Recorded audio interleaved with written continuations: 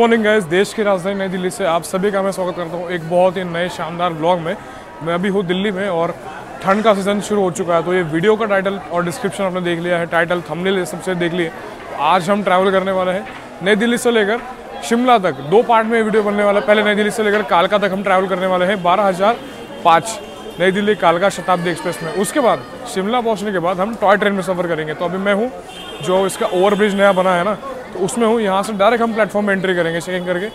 Platform में चल के एग्जीक्यूटिव लाउंज में जाऊँगा, वहाँ पे चल के बातें कर रहे क्योंकि यहाँ पे बहुत ज़्यादा भीड़ है और सामान भी साथ में तो चलता हूँ, आपको दिखाता हूँ आगे जाके। ये रहा अपना न्यू दिल्ली का रेलवे स्टेशन और मैं मेट्रो से आया था एयरपोर्ट मेट्रो से। तो डायरेक्ट यहाँ से आगे हम जा सकते हैं। मैं द्वारका सेक्टर 21 से आया था तो सिक्सटी रुपीज़ में मैं न्यू दिल्ली पहुँच गया। जहाँ की कैब लेती है लगभग पाँच सौ रुपये साठ रुपये में पहुँच गया डायरेक्ट न्यू दिल्ली स्टेशन के अंदर। तो ये रहा आर का एग्जीक्यूटिव लाउंज जहाँ पे मैं रुका था अभी लगभग डेढ़ घंटे में रुका था। वीडियो में दिखाया नहीं क्योंकि इससे पहले बहुत बार दिखाया है और ये लोग मतलब थोड़ा नाटक करते हैं वीडियो बनाते तो, तो इसलिए मैंने कुछ दिखाया नहीं। अगर आपको देखना है तो इनका मैं डेडिकेटेड ब्लॉग बनाया है। बाकी प्लेटफॉर्म नंबर एक पर अपनी कालका शताब्दी एक्सप्रेस आ चुकी है। प्लेटफॉर्म नंबर एक पर अपनी कालका शताब्दी खड़ी है और आई गेस से ऑटोमेटिक डोर वाली है तो देखते हैं ऑटोमेटिक डोर है तो आपको दिखाई देता हूँ मैं। चलते हैं। बाकी जल्दी से जल्दी चलते हैं मतलब आपको दिखा दूँ एग्जैक्ट और आज की जर्नी एग्जीक्यूटिव क्लास में होने वाली है। तो लेट्स सी क्या सुविधाएँ मिलती है हमें। खाने पीने की चीज़ें वगैरह सारी चीज़ें दिखाएँगे। पहले मैं चलता हूँ बैग वगैरह रख देता हूँ और आपसे बात करता हूँ। ये आ गए हम ई टू कोच के सामने।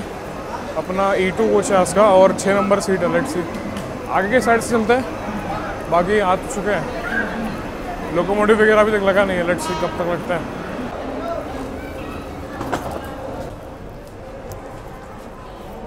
तो ये रहा अपना एग्जीक्यूटिव क्लास का कोच और मेरी सीट नंबर है छः आज की, जो कि है आइजल यानी यहाँ के, ये वाली सीट आज की। बैग वैग रखता हूँ मैं, बाकी बातें बाद में करते हैं। शॉर्ट में आपको इन्फॉर्मेशन बता दूँ, आज हम ट्रेन जर्नी करने वाला है, गाड़ी संख्या बारह हज़ार छः, नई दिल्ली कालका शताब्दी एक्सप्रेस। आपको बता दूँ, नई दिल्ली और कालका के कालका के बीच में लगभग दो शताब्दी चलती है। एक चलती है सुबह सात बजे और एक चलती है जो अभी हम चलने वाले हैं, दोपहर के पाँच बजकर पंद्रह मिनट पर। बाकी डिस्टेंस के बारे में बात करें तो लगभग 270 किलोमीटर का ये अपना डिस्टेंस है नई दिल्ली से लेकर कालका के बीच में। और ये 270 270 किलोमीटर का डिस्टेंस हम कवर करने वाले हैं लगभग चार घंटा में। मतलब एग्जैक्टली चार घंटे इसका दिया गया है 270 किलोमीटर के। लेट सी कैसे सुविधाएँ रहती है। आज अपनी यात्रा एग्जीक्यूटिव क्लास में होने वाली है। वैसे मुझे एसी चेयर कार में ही करने वाली, करने वाला था मैं यात्रा बट टिकट कन्फर्म नहीं हुआ और इसमें करंट निकल गया। तो मैंने मैंने इसमें तुरंत टिकट निकाल लिया। देखते हैं सर्विसेज़ कैसे होती है। बाकी इंटीरियर्स आपको मैं दिखाई देता हूँ। वैसे आपको बताया कैसे होते हैं। प्रॉपरली खाने पीने की चीज़ें मिलने वाली है। अभी हम पाँच बजकर पंद्रह मिनट पर निकलेंगे। यहाँ से और लगभग छः सात, आठ, नौ नौ बजकर दस मिनट या नौ बजे आएँगे एग्जैक्ट हम पहुँचने वाले हैं कालका तो जिनको शिमला जाना है, वो कालका जाते हैं मोस्टली और ये जो गाड़ी है ना मोस्टली चंडीगढ़ तक पाएगा। चंडीगढ़ के बाद गाड़ी गाड़ी ये खाली हो जाएगी। बहुत कम लोग हैं जो कालका जा रहे हैं इधर से। और आने वाले दिनों में, ये वीडियो इसलिए बना रहा हूँ, आने वाले दिनों में ना ये सारी ट्रेन बहुत ही पैक जाएगी कि लोगों को शिमला विमला विज़िट करने जाना होता है। बाकी आपको मैं यहाँ से डिपार्चर दिखाता हूँ। डिपार्चर देख लीजिए और बाकी चीज़ें, खाने पीने। खाना पीना तो आता रहेगा। तो देखो एग्जीक्यूटिव क्लास की फीचर्स बहुत ज़्यादा होती है। नॉर्मल ऐसी चेयर कार में तो आपको लेग स्पेस नहीं ज़्यादा मिलता बट इसमें लेग स्पेस आपको काफ़ी मिल जाता है। तो लगभग मैं छः फुट दो इंच का आदमी तो मेरे लिए देख लीजिए आप, इतना ज़्यादा लेग स्पेस अवेलेबल है। यहाँ पे आप अपनी चीज़ें रख सकते हो। मैगजीन होल्डर मैंने चार्जर रख दिया बाकी जो खाने पीने की चीज़ें यहाँ पे मिलेगी, आप इस टेबल पर बैठ के खा सकते हो। इसको लगा देते हैं। बाकी यहाँ पे बॉटल होल्डर है और न्यूज़पेपर वगैरह, ये सब सीटों पे प्रोवाइडेड है। देखो अभी एक मिनट में अपना डिपार्चर होने वाला है। भैया तो बता रहे थे कि ऑटोमेटिक डोर काम नहीं करते। इसमें ऑटोमेटिक डोर तो लगाए हुए हैं। मतलब नॉर्मल डोर्स होते हैं बट इसको मॉडिफाई करके ऑटोमेटिक डोर बनाया जाता है। बट ये मेरे हिसाब से काम नहीं करते। भैया जिस हिसाब से मुझे बता रहे थे लेट सी वो अपने आप खुल जाता है। लेट सी अभी तो एक मिनट का समय बचा है फिर भी। अगर बंद होते हैं तो मैं आपको बताता हूँ, मुझे तो लगता नहीं है बंद हो गए ऑटोमेटिक डोर्स लेट सी यहाँ से ऐसे सीधा ऐसे करके बंद हो जाते हैं बट वो तो किस्मत पर डिपेंड करता है। चलो भाई चलो भाई निकल चुके अपने बिल्कुल निर्धारित समय पर। पाँच बजकर पंद्रह मिनट पर नई दिल्ली के प्लेटफॉर्म नंबर एक से रूट के बारे में बात करी जाए तो यहाँ से निकल के हम पानीपत, उसके बाद कुरुक्षेत्र, उसके बाद अम्बाला कैंट, चंडीगढ़ होते हुए कालका को रात को नौ बजे पहुँचने वाले हैं। तो आपको तो पता है शताब्दी राजधानी ट्रेन में एक पानी की बोतल मिलती है तो इसमें हाफ़ लीटर रेलनीर की बोतल मिली है। तो भाई दिल्ली से निकले हुए लगभग चालीस मिनट का समय यहाँ पे हो चुका है एंड इवनिंग स्नैक्स यहाँ पे आ चुके हैं। आपको पता है शताब्दी राजधानी दुरंत तो इन सारे ट्रेन में आपको खाने पीने की चीज़ें बैक टू बैक मिलती है। तो लेट्स सी इवनिंग स्नैक्स में क्या क्या हमें सर्व किया है। तो ये थाली अपनी आज के आ चुके हैं इवनिंग स्नैक्स की। आपको तो बहुत बार दिखा चुका हूँ, बहुत सारी शताब्दी में दिखा चुका हूँ। इवन ये वाली शताब्दी का एक और वीडियो आपको मेरे चैनल पर मिल जाएगा, जिसमें हमने ए सी चेयर कार में यात्रा की थी। तो इसमें हमें एक कचौरी मिली है, ठीक है, जो कि ठीक ठाक लग रही है। समोसा है गेस हाँ समोसा है। एक फ्रेश हाइजीनिक सैंडविच भी मिला है, ठीक है। इसके साथ ये ये कुछ नया देख रहा हूँ। चाय प्रीमियम का tea bag, dairy, sugar stirrer. Okay मतलब वही टी किट है, चाय प्रीमियम वाली। वाव और ये ड्राई फ्रूट पतीसा इनकी इनकी कॉफ़ी भी टेस्ट करेंगे थोड़ी देर बाद। बाकी एक कैशियम नट्स है। तो मेन चीज़ तो टेस्ट करने लायक है, जो समोसा और सैंडविच इन लोगों ने दिया है। क्योंकि बाकी तो पैक्ड आइटम्स है सारे, और चाय का भी टेस्ट बताएँगे आपको। चलो एक बार टेस्ट करते हैं इस सैंडविच को, जो कि मैंने बहुत सारी राजधानी शताब्दी दुरंतों में आपको टेस्ट करके दिखाई है। फिर भी जो जो अपने नए व्यूअर्स हैं ना उनके लिए थोड़ा सा केचप लगा लिया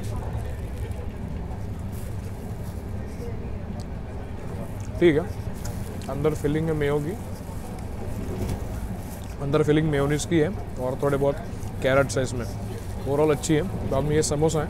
ये सारा जो फ़ूड है ना आई के सेल किचन से बन के आता है। आई मीन समोसे, ये वो ये वो सब चीज़ें हैं ना। फ्रेश आई की सेल किचन जो है दिल्ली में, उससे बन के आता है। इवन अपना जो डिनर है ना, वो ऑलरेडी न्यू दिल्ली से इन लोगों ने बोर्ड कर दिया। है बाकी समोसे का टेस्ट करते हैं। समोसा बहुत बढ़िया है। आई I मीन mean, जो इसके अंदर की फीलिंग है ना प्रॉपरली जीरा वेरा आलू वालू एकदम मस्त स्मैश हुए और फ्रेश है। फ्रेश का टेस्ट अलग ही लगता है।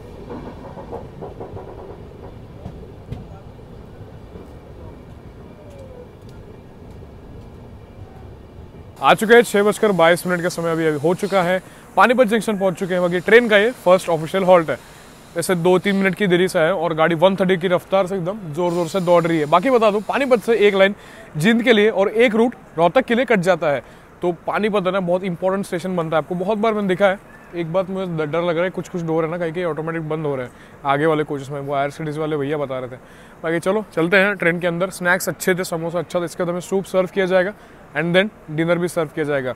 एंड बाहर को दिखाने लायक कुछ है नहीं। और ठंड के बारे में बात करें, काफ़ी अच्छी ठंड है। बारह डिग्री टेम्परेचर भी यहाँ पे हो रहा है। मस्त एकदम मज़ेदार ठंड है भाई। वही है नॉर्थ इंडिया में ना ठंड में घूमने का एक अलग ही मज़ा आता है।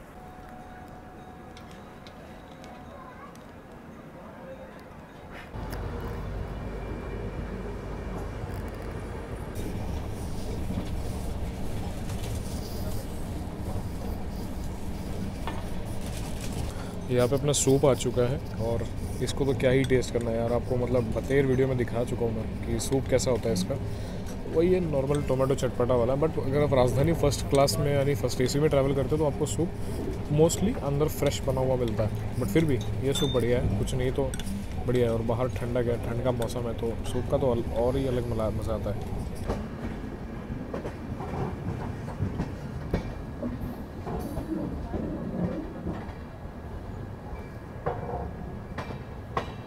महाभारत को लेकर ये जगह बहुत ही फ़ेमस है। नाम है कुरुक्षेत्र।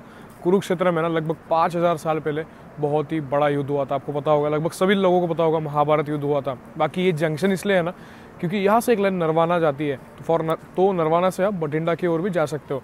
बाकी इसके बाद अपना हॉल्ट होने वाला डायरेक्ट अम्बाला कैंट जंक्शन, यानी कि अम्बाला छावनी एंड देन चंडीगढ़। चंडीगढ़ के बाद डायरेक्ट कालका। और ठंड काफ़ी है भाई, ज़ोरदार मतलब लग रही है ठंड।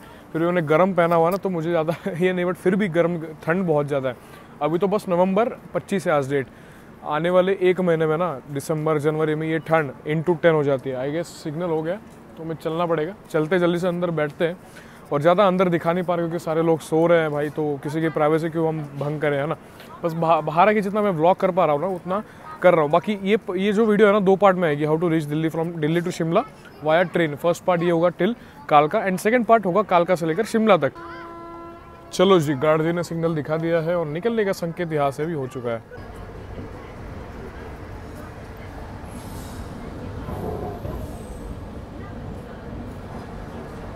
यहाँ पे डिनर आ चुका है अपना जो नॉर्मली शताब्दी वाला डिनर होता है।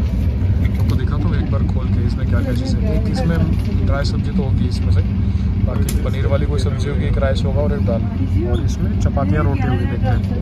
ये सारी चीज़ें अभी डिनर में खुश हो। गए पनीर की सब्ज़ी है मे बी दिस पनीर कढ़ाई। ये मीडियम स्पाइसी टाइप लग रही है, उसके बाद। This is a dry veg और भाई, ये आलू है, बस आलू है और शिमला मिर्च है और ये दाल है। दाल की कंसिस्टेंसी काफ़ी अच्छी लग रही है और यहाँ पे राइस है। तो लेट्स सी इसका टेस्ट मैं आपको बताता हूँ, एक बार टेस्ट करके क्या होता है।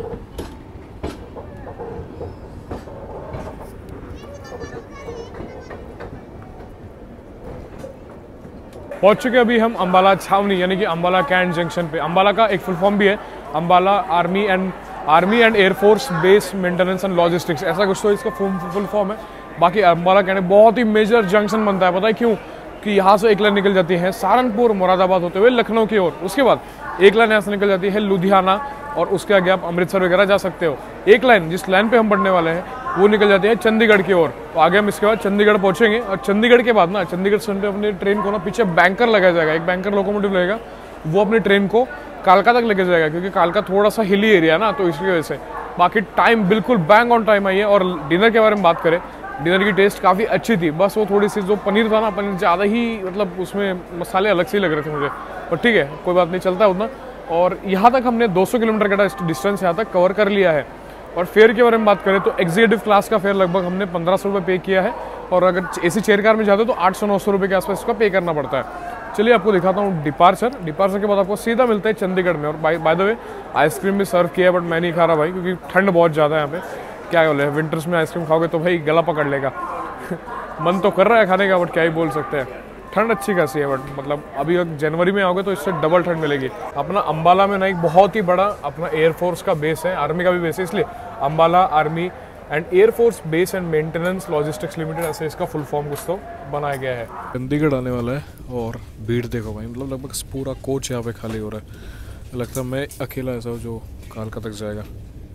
यहाँ से लगभग आधे घंटे का रास्ता भी और बचने वाला है लेट्स सी ये देखो भाई लगभग पूरी ट्रेन यहाँ पे खाली हो चुकी है पूरा कोच मेरा खाली हो गया और अकेला में हो। चुके हैं माँ चंडी देवी के टेंपल के लिए प्रसिद्ध। चंडीगढ़ शहर में बहुत ही प्लान शहर है, बहुत ही बड़ा शहर है। बाकी यहाँ से मैंने आपको बताया था, एक बैंकर लोकोमोटिव ऐड होगा, जो कि अपनी ट्रेन को क्लाइम करने के लिए मदद करेगा आगे की ओर। देखो भाई ई रोड शेड का W A P four locomotive अपने ट्रेन को लग रहा है पीछे से। यानी कि इससे जाएगी ट्रेन बैंकर की ज़रूरत है, क्योंकि क्लाइम नहीं कर पाएगी। भाई, मुझे याद है, मैं लास्ट टाइम जब आया था, इसी कालका शताब्दी से ना, तब भी ई रोड का ही लगा था। इस टाइम भी ई रोड का ही लग रहा है। ये सही है भाई, वही ठंड बहुत ज़्यादा, ठंड का लेवल ना नेक्स्ट लेवल लग रहा है। लग गया।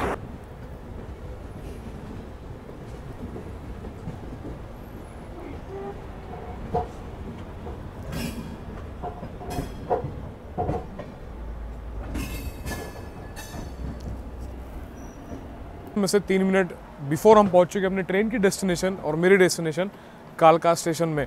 कालका स्टेशन खास क्यों है है? क्योंकि रिसेंटली अभी अपने अपने honourable prime minister and rail minister ji ने अमृत भारत गौरव स्टेशन की अनाउंसमेंट की थी, जिसके अंडर बहुत सारे स्टेशन ना रिनोवेट होने वाले थे एंड बहुत सारे स्टेशन मॉडर्नाइज होने वाले थे। उसके अंडर ये स्टेशन आ चुका है क्योंकि ये जो स्टेशन है ना कालका, ये एक यूनेस्को वर्ल्ड हेरिटेज साइट है। क्योंकि यहाँ से शुरू होती है कालका शिमला हेरिटेज रेलवे यानी कि के एस आर कालका शिमला रेलवे पार्ट वन है ना, ये सीरीज़ का, यहीं पे ख़त्म करता हूँ मैं। कालका स्टेशन पर पार्ट टू आप देखोगे, मेरा सफ़र कालका से लेकर शिमला तक। आपको एक कैसा लगा बताना कमेंट सेक्शन में। प्राइजेस की डिटेल डिस्क्रिप्शन में प्रोवाइडेड है। वैसे आपको बता दूँ, पंद्रह सौ रुपये एग्जीक्यूटिव क्लास का एंड आठ सौ, नौ सौ रुपये ए सी चेयर कार का मैंने पे किया था दिल्ली से लेकर कालका तक। यहाँ से देखूँगा अब होटल करना है या क्या करना है, क्योंकि सुबह छः बजे मेरी ट्रेन है यहाँ से और जो मेरी ट्रेन है ना कालका से, वो भी एक बहुत ही यूनिक ट्रेन होने वाली है। इसलिए बोलता हूँ, ये पार्ट अगर देखे हो तो नेक्स्ट पार्ट ज़रूर देखो कमेंट करके बताना आपको कैसा लगा, कैसे लगी मेरे मेहनत, ज़रूर बताना कमेंट करके, क्योंकि गला मेरा बैठ गया। अच्छा वो आइसक्रीम नहीं खाया फिर भी। बाकी ये जो सफ़र था ना, काफ़ी अच्छा रहा। वैसे दिल्ली से कालका के लिए दो शताब्दी चलती है, एक सुबह भी चलती है एंड एक रात, शाम को भी चलती है, पाँच वाली जो हमने बोर्ड की थी। अभी ये जो आई है ना, ये यहाँ से एक सुबह चलेगी एंड एक और चलेगी यहाँ से दोपहर को, दिल्ली के लिए। तो सही है भाई, और बहुत सारे टूरिस्ट अभी यहाँ से आने लग जाएँगे कालका से लेकर शिमला तक जाने के लिए, इसलिए मैं आपके लिए वीडियो बना रहा हूँ। चलिए, आपसे विदा चाहता हूँ। मिलता हूँ आपको नेक्स्ट पार्ट में नेक्स्ट वीडियो में, तब तक के लिए बाय बाय गाइज़